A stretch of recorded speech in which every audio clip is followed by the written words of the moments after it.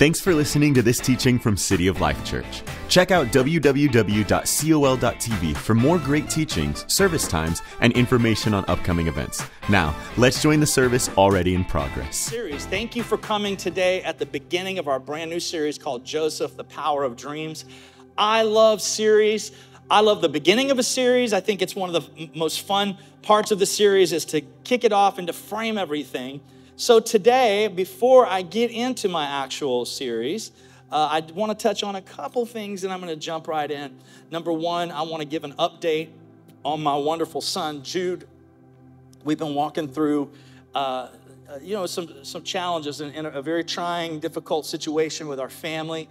Uh, you know, Jude has just completed his uh, first full round of chemo. He, he starts his second round on this Tuesday.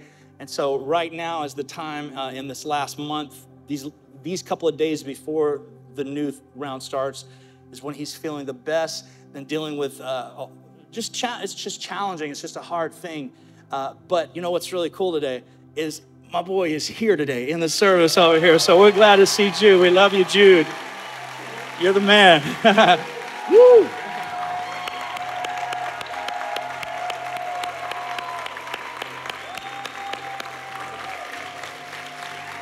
He didn't want me to do that, but I couldn't, I couldn't help myself. We love this kid. We're proud of you, man. You're inspiring to all of us, and, and uh, we appreciate you and just glad to be able to worship with you today.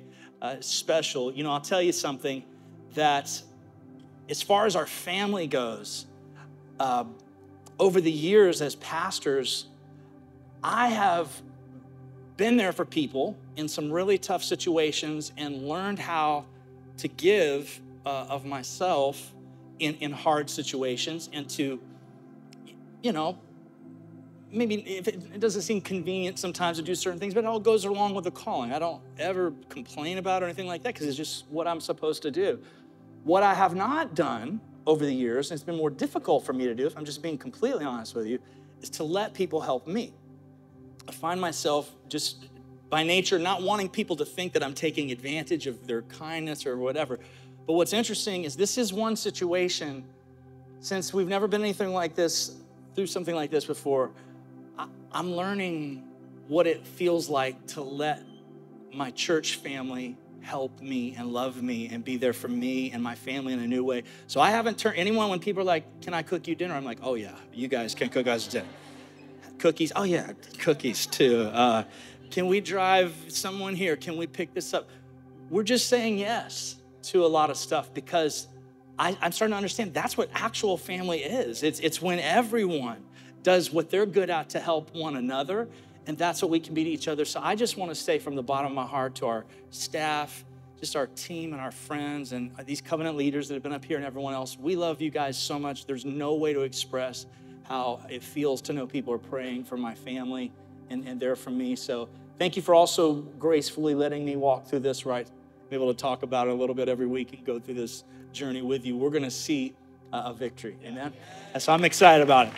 All right. So um, they talked about Love Strong, but I had to give a quick uh, promo for Love Strong. It is February the 24th. It's going to be so fun, so amazing. Earl and Onika, if you don't know them, are some of Pastor Amy and my favorite people in the world. They are so sweet pastor an exploding church, multiple campuses in Dallas. Uh, to even have them, they're the, some of the most sought after speakers in the world. Uh, they don't have to come to something like this. Uh, they have so much going on, but they said, We would really love to be with you guys. So please make plans. Even if your wedding is this day, just cancel it and come to this. This is more important. I mean, wouldn't you rather learn about what a marriage is supposed to be than just, oh, let's just get married? Let's, let's just go through this thing where we're learning what marriage is and strengthening our marriage. That's how important this day is, and I really encourage you to be there. Also, next week, uh, I did get a note here. This is not mine, but they said on uh, the, the fan Sunday next week, for some reason, there's no Giants jerseys allowed. I'm not sure what that's about, but uh, just reading it off the thing here. Uh, okay, let's move on and start the series. Uh, Genesis 50 20 is our text for the day. And um, this is a, a, a, text that is worth memorizing.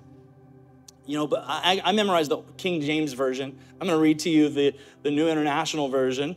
uh, which says, You intended to harm me.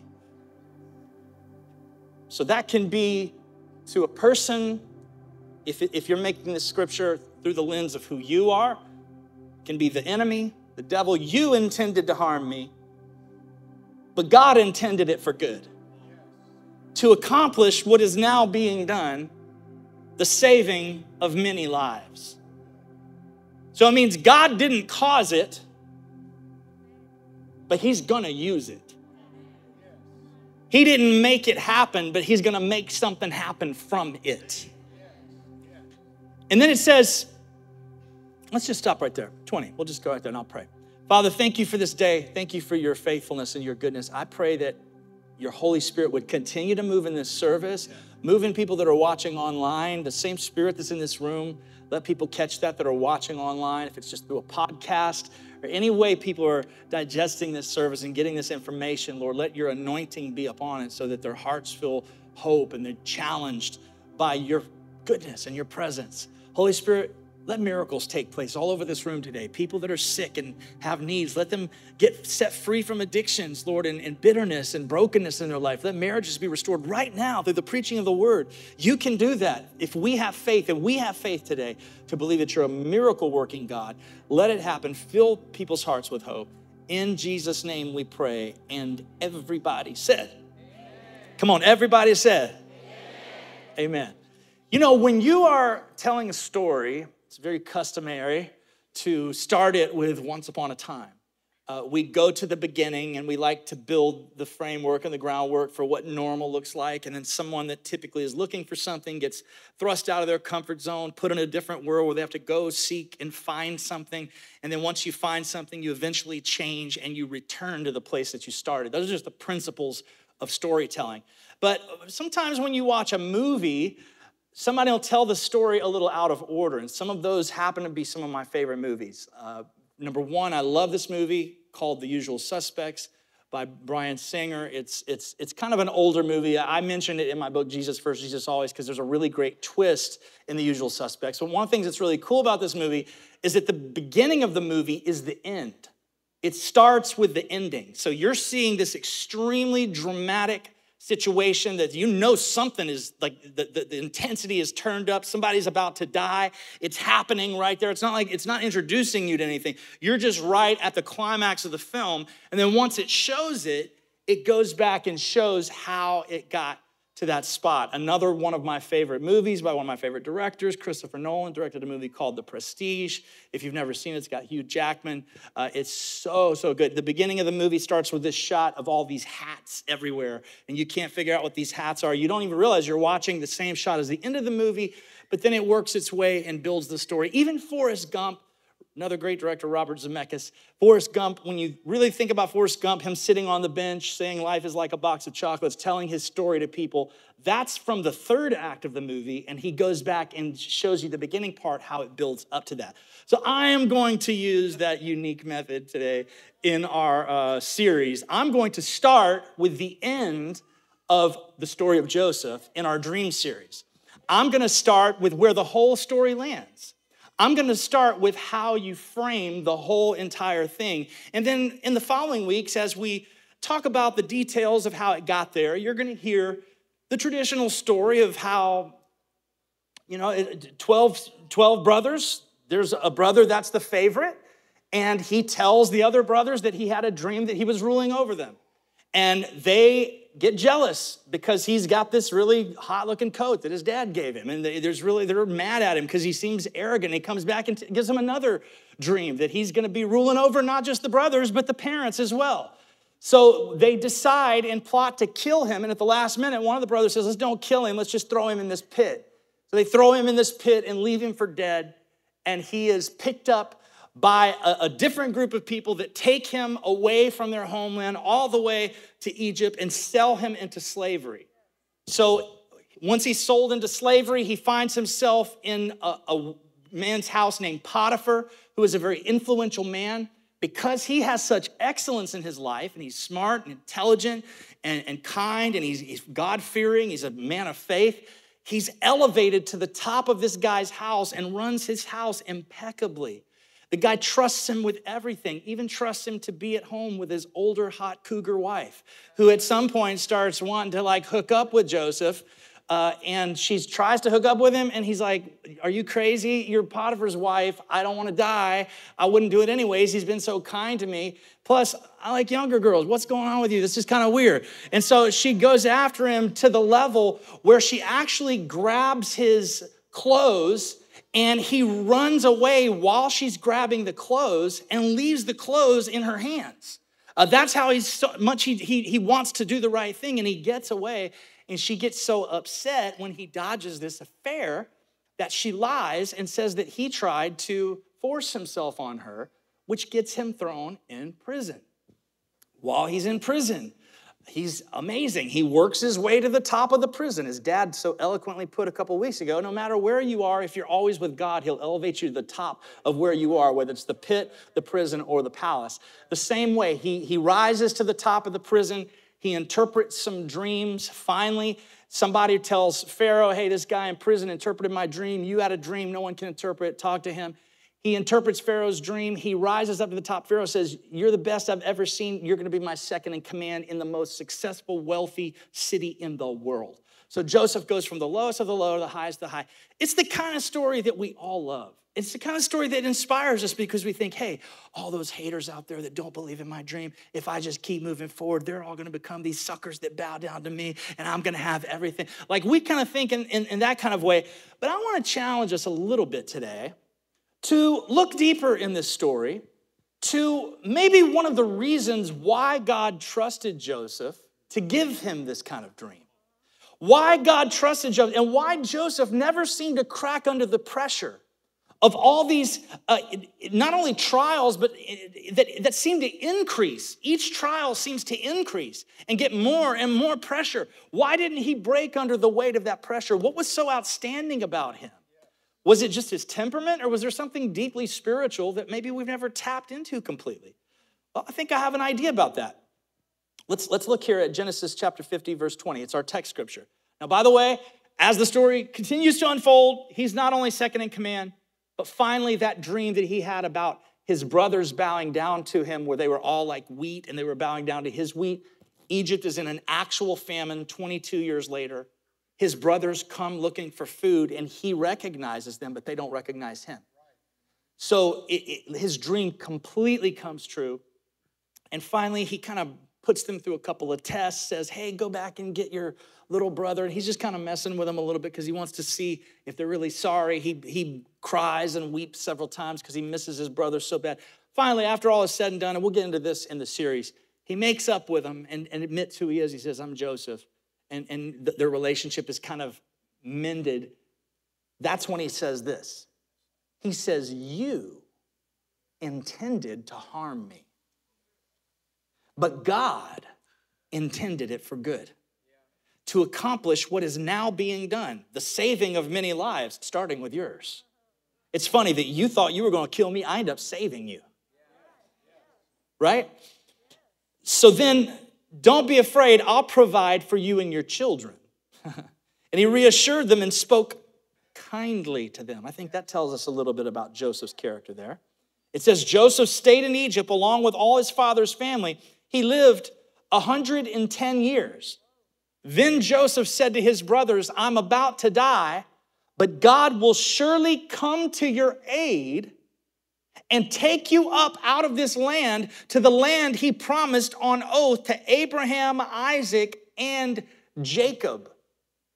So he's speaking to his brothers prophetically about what's about to happen to Israel that Israel is going to become enslaved to Egypt. And he says that even though I'm about to die and you guys have to come to Egypt instead of following after what the Lord wanted for your life, in, in, in Israel, you guys have messed up and now you need the help of the world. Well, it just so happens I'm second in command in the world and I'm helping God's people. But what he says here is he's making a promise. He said, God will come to your aid. He will take you. He was talking about the Exodus that Israel would become enslaved to Egypt, this beautiful, amazing culture that now is like lost in the culture of Egypt. For, for hundreds of years, you're going to eventually become enslaved. He said, But God will surely come to your aid, take you up out of this land to the land that he promised on oath to Abraham, Isaac, and Jacob. Now listen to this. And Joseph made the Israelites swear an oath and said, God will surely come to your aid, and then you must carry my bones up from this place. I want to focus on that for a second because I don't hear a lot of people talking about that part in the story. Where, I mean, not a lot of people say stuff like that. Swear that you'll take my bones and bury them somewhere else. That's what he says. He, he makes the Israelites promise this. This is a man who has had incredible faith, who has had an incredible dream that almost no one sees a dream like this come to pass. It's literally materialized in front of his, his, his eyes. He's at the end of his life. He's already got everything you could imagine having, yet there's more for him even after his life is over. His destiny is not complete. He's not comfortable knowing that he's just second in command. He's not comfortable enough knowing that all these amazing things have taken place. He says, I want you to move on from Egypt. God is going to take you out of here. And when you get back to our home, just take my bones and bury them there because that represents God's promise. That represents God's favor. He had vision that extended beyond his own life and beyond his own personal destiny. As a matter of fact, when we look at the story of Joseph, one of the most ex- extraordinary figures in the Old Testament, everybody loves Joseph. As a matter of fact, I think Joseph Daniel and Jesus are three characters that a lot of biblical scholars say are perfect in that they have no flaws. They're some of the only characters that have, and, and, and figures in the Bible that have no flaws. They just don't do anything wrong. Uh, so it, it's interesting that as loved as he is and appreciated as he is, he's not really mentioned in the New Testament. Really, only one place he's mentioned. And in that place that he's mentioned, it doesn't talk about his dream. It doesn't talk about the pit. It doesn't talk about the prison. It doesn't talk about the palace. Do you know what it actually talks about? It's Hebrews chapter 11, verse 22. It says, It was by faith. Somebody say faith. faith. That means Joseph was a faith man. It was by faith that Joseph, when he was about to die, said confidently that the people of Israel would leave Egypt. So he was prophesying about the future of Egypt before he died. The future of Israel leaving Egypt before he died says he even commanded them to take his bones with them when they left.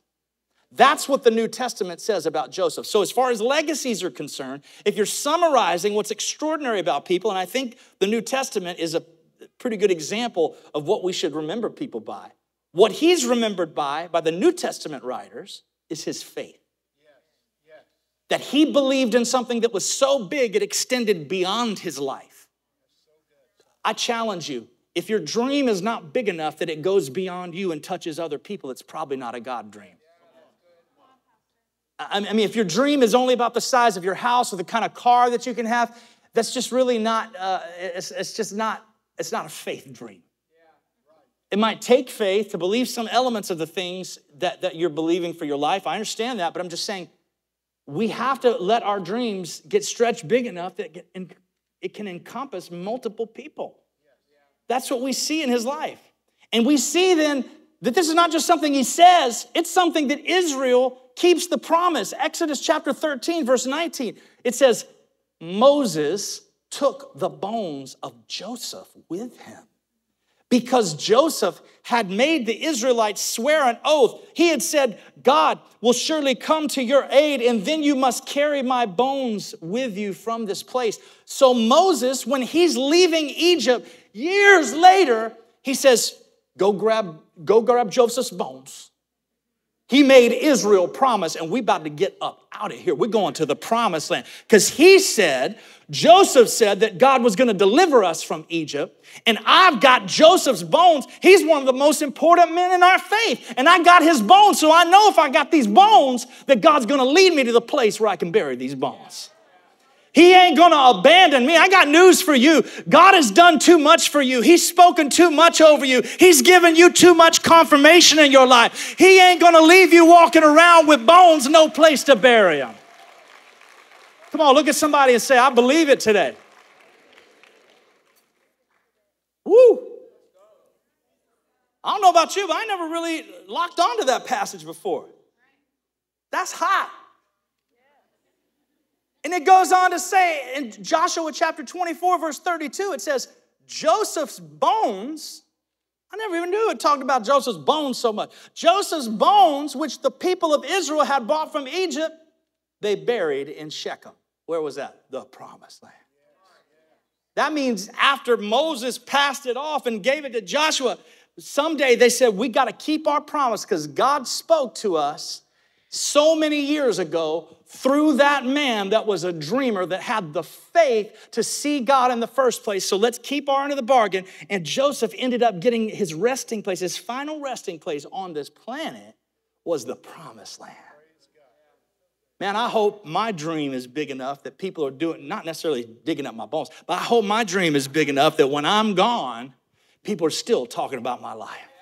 What I did for the, not just my life, but what I did for the kingdom. Things that I spoke over the kingdom. They say, oh man, Pastor Jeff said many years ago that we're going to this, so we got to keep going down this road. And then their dreams start expanding and their dreams start expanding. Man, think about the faith that it takes for this to take place.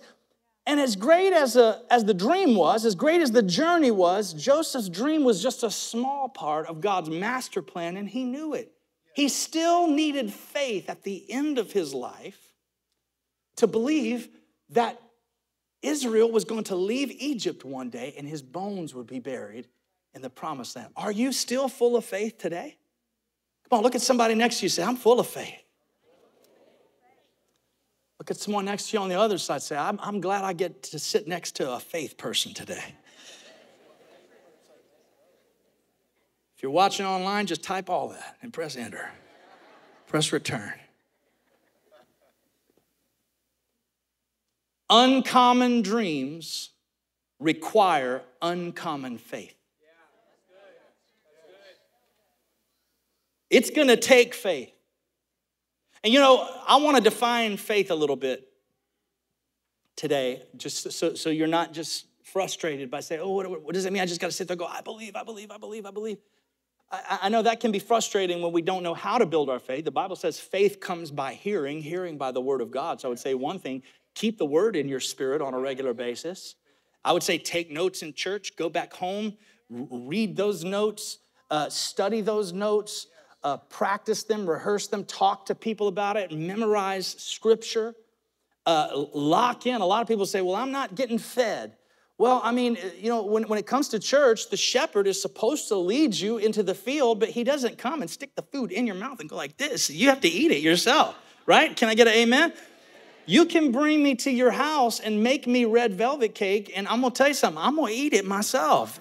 I don't need your help. I'm going to eat it. So, in the same way as, as believers, when we're trying to develop our faith, let's get in the Word. Let's, let's read the Bible regularly, study it, get in our spirit if we want to build our faith. But let's also remember what faith is. Faith starts with what we believe about God. It's not simply what we believe from God, it's what we, be- we believe about God.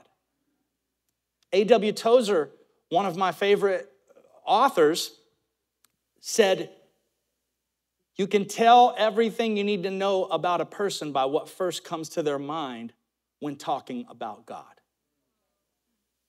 The most important thing about us is what comes to our mind when we think of God. And what I love about, so, so really quick before I get into Joseph, what comes to your mind when you think about God?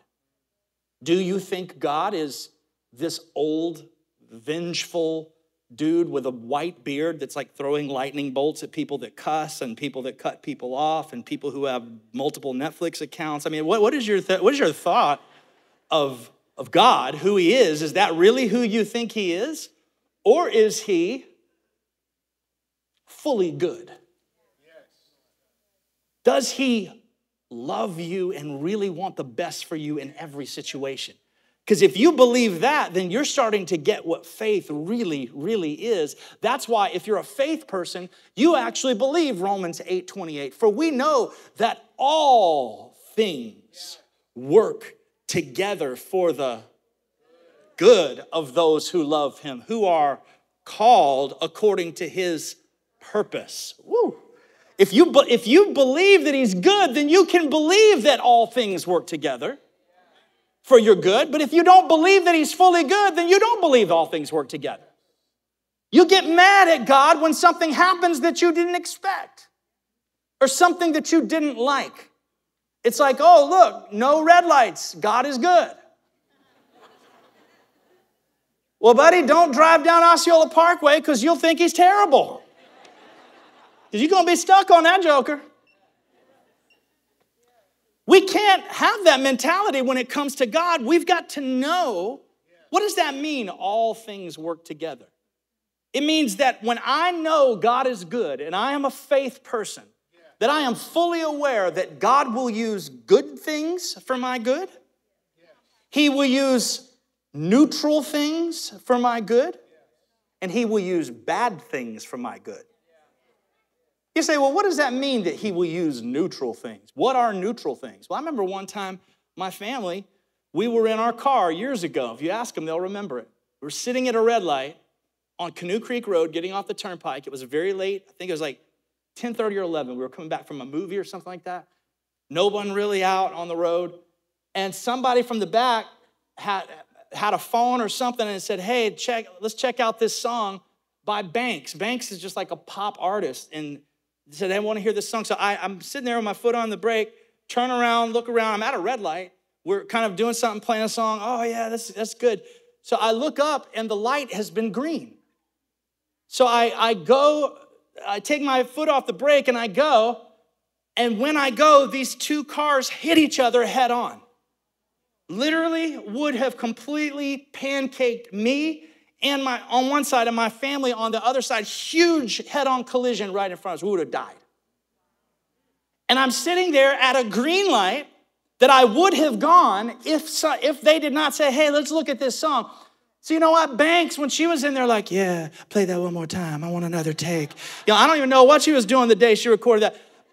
She ain't good. She ain't bad. She uh, it's just a neutral song. That's a way that God used something that is either good or bad. He used just a song. In that moment, he said, I'll use a song if I want to save my sons and my daughters. I'll use anything I want. I'll use a good thing, a bad thing, a neutral.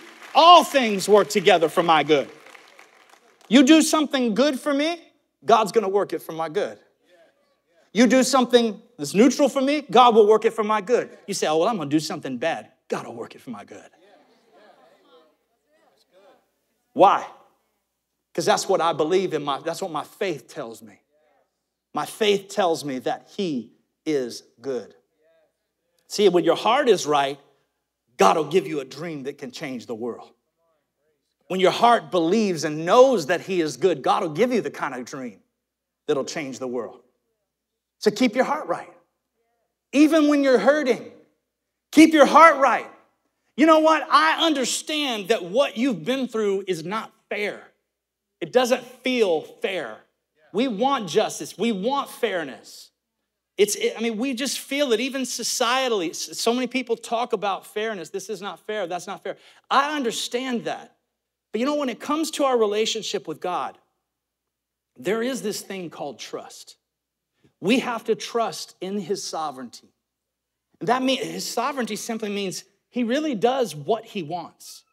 But his providence means that he does it in a wonderful, loving, and caring way. It's not just sovereign saying, you know what, uh, I'm just gonna hurt this person, I'm gonna help this person. It's not like that. It's that he does whatever he wants, but he does it in a way that he provides for us in a wonderful, caring, loving way. We have to trust in that. We could spend the rest of our lives, each one of us. And I mean, my heart breaks when I get in a big group of people and I know the tough things they've been through. Because I mean, I just look at my family or just the people that I know when I hear the abuse, the, the pain, the suffering, the sickness, the disease, the death, the loss of family members, just the, the, the, the traumatic things that we go through. We could literally spend the rest of our lives comparing everything, saying, I don't understand. This person, it happened to them, and they went to church every day. And yet there's all these people out there that hate God. They curse. They've been married 10 times. They cheat people. They lie. And they never had this problem that this, and we could spend our whole lives asking why. Or we could be like Joseph. We could say, As for you, you thought evil of me. But God, He didn't cause it but he meant it for good. He saw your plan and he said, I'm going to take that plan and I'm going to use it not only to protect and develop my kid, but I'm going to bless everybody through him. Even some of the people that tried to hurt him. See, that's the difference is our knowing that he's good. Being convinced that he's good. And if you're here today and you're not sure yet, let me compel you. He is good. He's trustworthy. He's faithful. He's Jehovah. He's Alpha. He is the Omega. He is everything in between. He is the sweetest rose of Sharon. He is El Shaddai. Come on, he's, the, he's Elohim, the strong creator today. He's Jehovah Jireh, our provider. He's Jehovah Shalom, our peace. He's Jehovah Sidkenu, our righteousness. He's Jehovah Makadish, the one who sanctifies us. He's Jehovah Shalom, who is our peace. He's Je- Jehovah Nisi. He's our banner that is above us today. He is good. Even when it doesn't feel good, He is good. We have to remind ourselves of that today. When it's not working out our way, when we don't like the outcome, when we don't like the diagnosis. We don't agree with it. We don't appreciate it. We don't want to accept it.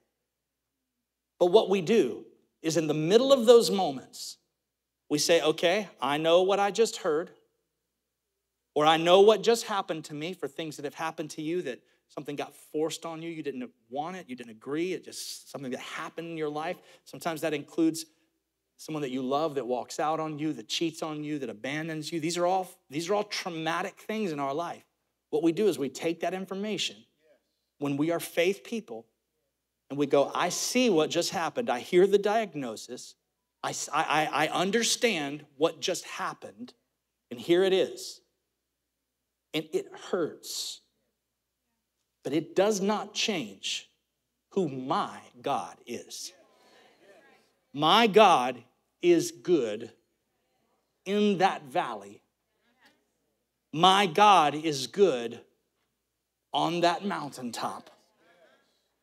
He is good, and I will believe He's good. And I will use these times of trials and suffering to let that suffering produce something in me in the valley that could never be produced on the mountaintop.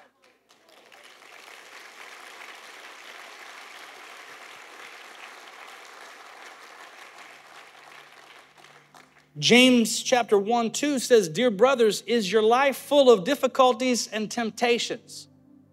Can I answer that out loud? Yes.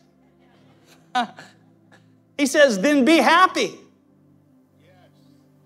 For when the way is rough, your patience has a chance to grow. so let it grow. Don't try to squirm your way out of your problems. That's literally the Bible I'm reading there. Stop trying to get out of every situation. What it's saying is feel it sometimes. Let it press in. You could feel the weight of it, you can be under the pressure of it. That's why Jesus said, Come to me all of you who are heavy laden. That means when you feel the pressure and it's weighing down on you, he says, and I will give you rest. Think about that pressure. You ever heard that old say, pressure bust a pipe? pressure bust pipes. That's what my buddy used to tell me in school all the time. He said, oh man, pressure bust a pipe. And that, that basically means that if the pipe ain't strong enough, the pressure will bust it. But I got news for you. You can take pressure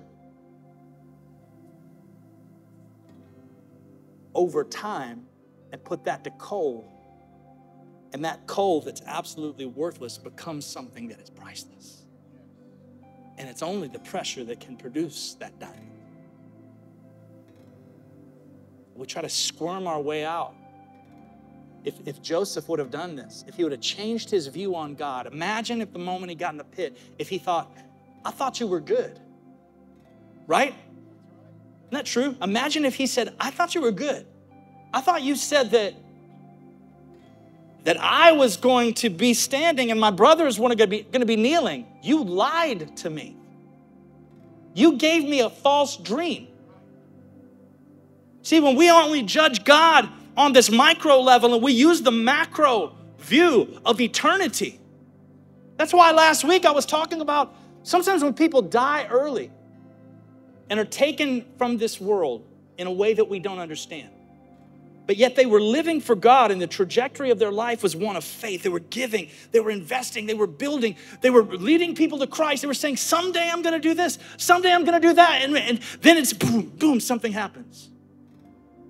And we just go, Why, why, why? I thought they had a dream. I thought, no, God wanted to, them to live on that trajectory because think of all the people around them that they elevated, that they pulled with them on that level, said, We're going here. And those people keep going. They keep moving up, keep moving further. When you back up from a bigger view of eternity, God said, I want you to live with faith. I want you to constantly believe at any moment that miracle could come. And a lot of times it will. Sometimes when it doesn't, we have to trust that bigger plan. We have to stop asking why so much and start asking what. What can I do to trust you more? What can I do right now that helps me believe more that you're good? See, if you lose your faith, you give up on your dream. Never surrender the dream. Never surrender the dream. Look at someone next to you, say, Never surrender the dream. Look at the person on the other side. Tell them, look tough at them. Say, Never surrender the dream. There's beauty in your brokenness. Beauty in your brokenness. There's treasure that can only be found in the brokenness. Joseph found some treasure in that pit. The Bible doesn't talk about it, but he did. Joseph found some treasure in that prison. It made him who he was. And you know, I think that sometimes we, as, as scripture says in that version right there, we try to squirm our way out so much when we're uncomfortable and we're experiencing challenges that we squirm out before we can figure out what the treasure was. And sometimes we try to forget about the past so much that we fail to recognize the treasure that we've gained since then. Like, for instance, let me tell you this quick story. I heard an amazing, it's a true story of a 90 year old lady from France that several years ago wanted to move into an assisted living facility. So she hired a, a, company to come and auction off all of her stuff so she could get the move the money to move into this place. So they came and they did an auction and they sold everything that she owned for six thousand dollars. Now she, they, she had some extra stuff left and they brought it to her. They said, "We're just going to throw this stuff away, literally throw it in the trash. Do you have need of any of this? Is any of it sentimental to you?" She said, "No, take it all." And this one guy saw this little picture. It was an eight by ten uh, picture that had been hanging in her kitchen. Thousands and thousands of meals over the years had been cooked. Just garlic everywhere, you know, just spices, everything you can imagine. It was like kind of burnt looking because of how close it had been to the heat of the oven. And she said, No, I don't want it. He took a look at it and could see some kind of picture on it. He said, Well, I mean, what, I'll tell you what, I'll just have it appraised for you, just in case. So he has this thing appraised. It comes back from the appraiser that this picture is worth five to seven million dollars. It was called the mocking of Christ. That's the name of the photo. It was painted during the Renaissance. But here's, here's what's even crazier. So they put it up for auction. And the five to seven million dollar painting that was valued at five to seven million dollars actually sold for 27 million dollars. France Recently, someone tried to bring it out of France. France made a move that it cannot leave the French borders because it's such a prize, a priceless prize to that nation that represents the Renaissance. Something that was priceless was just in somebody's life every day that they failed to even recognize. A treasure that could have changed the way that she lived. She could have affected generations of people with her financial blessing. She could have become a philanthropist. Her family could have been changed. But she didn't understand the value of that treasure that was hanging right there in her life. She passed by it every day. I wonder what undiscovered treasure is in your life. Maybe from trauma that you've been through. You say, How could there ever be treasure? You know, when you bring up abuse, it's, it's just hard. You know, my mom has a book that's coming out in a couple of weeks. It's just going to be absolutely phenomenal. She talks about, in a way that no one ever has before, the abuse that she went through growing up. You say, how could that ever turn into something that you could find treasure in? Well, my mom, when we were growing up, had rules for us that she didn't have growing up to protect us. So my life looked different than her life because some of the things that she learned made her want to be a better parent than her parents were to her. The relationship, the way, the openness that she had, the willingness that she had to talk to me, to share her story with so many other people. The fact that when she got older, some of the things and the wounds that her dad told her said, You're too stupid to ever go to school. You, you'll never get in college. She didn't even graduate high school.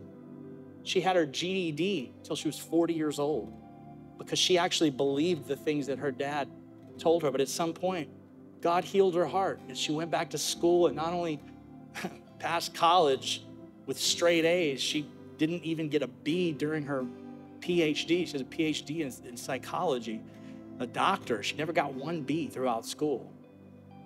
And I'd call that treasure to be able to turn something broken like that into something that can affect so many people's lives. How could you find your treasure? You might have to do some searching. That's what Joseph did.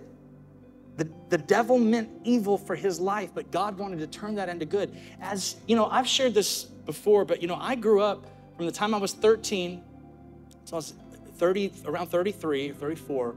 I was addicted to pornography. And I grew up a pastor's kid. I've been in ministry. I was ordained when I was 15 years old. I've literally been a, a pastor for 35 years.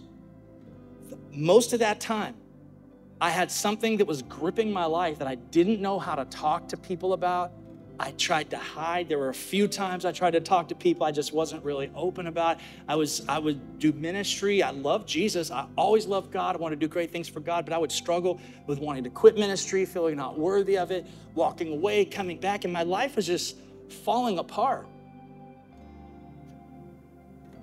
Until I went to a, a, a men's weekend where we got together and in that weekend God just started overwhelming me with his love. And he said to me, Jeffrey, I loved you before that was a problem. I loved you when it's a problem, and I'm gonna love you when it's not a problem anymore. And God completely set me free when I was in my early 30s. And you know, I mean, I've got my wife and my two beautiful daughters and my son that's sitting here.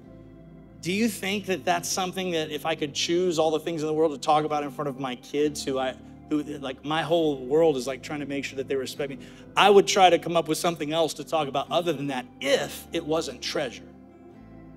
The treasure is that, you know, a few years ago, my son's growing up, I got to talk to him about this subject. We sat there and cried together about how we want to use my past mistakes and my failures in life so that we can be men of honor men of dignity. That's treasure that no one can ever take away from me that came from brokenness in my life. You can find the treasure like Joseph did if you believe God is good. And if you believe that you've never been through anything that God can't use for your good. That's really what's exceptional about him to me. That's the way I want to kick off the story. I want to go to the ending. We'll work our way back. But we start from the fact that this is a man of faith. You know, when you're in the valley, you need some perspective. You can't see your way out of the valley. And down in the valley, the, the common idea is if things are going bad, that God is bad. If things are going good, God is good. But Joseph didn't make it an either or situation. He said, Life is hard, and you know what? God is good. Life is beautiful, and you know what? God is good. And that's where we have to start. If we're going to dream these kind of dreams, we have to start with knowing that God is good. A God dream is born out of faith, but it takes faith to see it come to fruition. And the way we keep our faith is to know that God is good even when things hurt. I got news for you. God didn't cause what you're going through. If you're going through something, say, well, God made this happen. No, He didn't.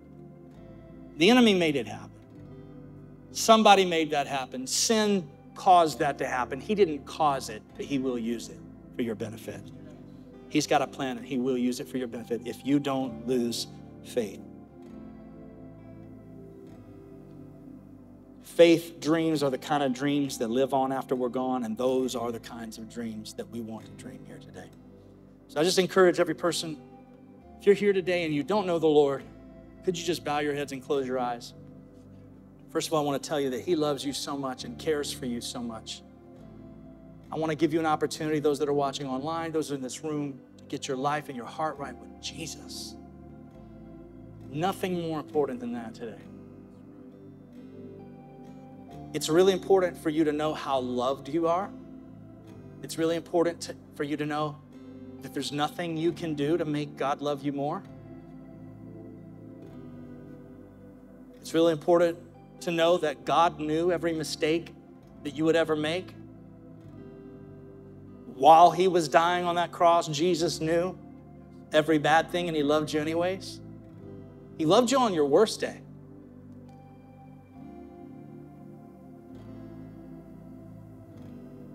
The Bible says if you confess with your mouth that Jesus is Lord, you believe in your heart that God raised him from the dead, that you'll be saved. I believe that there are people here today that don't know the Lord. And that if you were to walk out of this room right now, or you were to walk away from watching this podcast online right now without getting your heart right with God, that you'd be in danger of being lost. I believe the Holy Spirit is moving in this room right now, moving on hearts, convicting you. I would say if that's you,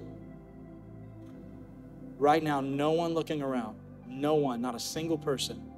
If you need Jesus to be the Lord of your life right now, just lift your hand. No one's looking around. Lift your hand all over the building. Hands going up every section all over this building. That's dozens of hands all over the place. Lord sees your hands everywhere. Thank you. Those of you that are online, could you lift your hand if that's you or type in the chat to say, I'm lifting my hand. I need Jesus. Would you pray this prayer out loud? Say, I ask you, Lord, to forgive me of my sins. Thank you for loving me. Thank you for dying for me. I want to know you. I can't earn my way into heaven. It's only through your love that I can find you and know my true purpose. I believe you're good, fully good. So I live a life of faith from this day forward, following after Jesus. My sin is behind me. Brand new spirit life in front of me. Teach me to follow you, and I'll serve you all the days of my life. In Jesus' name, amen. Come on, could we give God an amazing praise today? So many people in this room and online that gave their hearts to the Lord. This concludes the teaching. If you'd like to support what God is doing here at City of Life, click on the Give button at www.col.tv or text a dollar amount to the number 855 997 6900. We hope you'll join us again.